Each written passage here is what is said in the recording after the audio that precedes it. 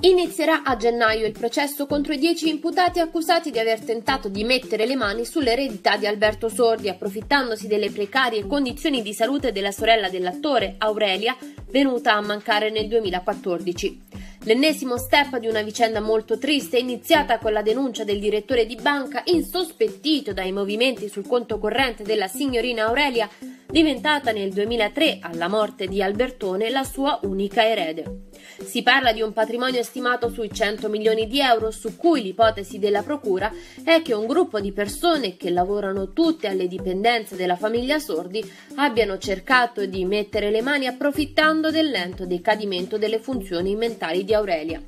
Ora la villa è diventata un museo, come specificato nel testamento di Aurelia che ha lasciato tutto il suo patrimonio alla Fondazione Alberto Sordi. Per accertare se quel patrimonio sia stato o meno compromesso dalle manovre illegali dei dieci imputati, il processo inizierà il 17 gennaio 2016. In quella sede, si spera, verranno chiariti fatti e circostanze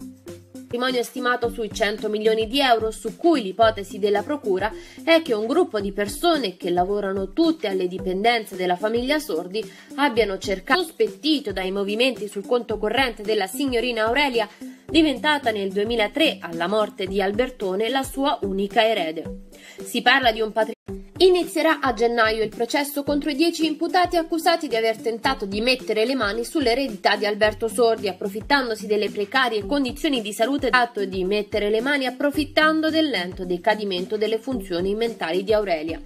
Ora la villa è diventata un museo, come specificato nel testamento di Aurelia, della sorella dell'attore, Aurelia, venuta a mancare nel 2014. L'ennesimo step di una vicenda molto triste iniziata con la denuncia del direttore di banca in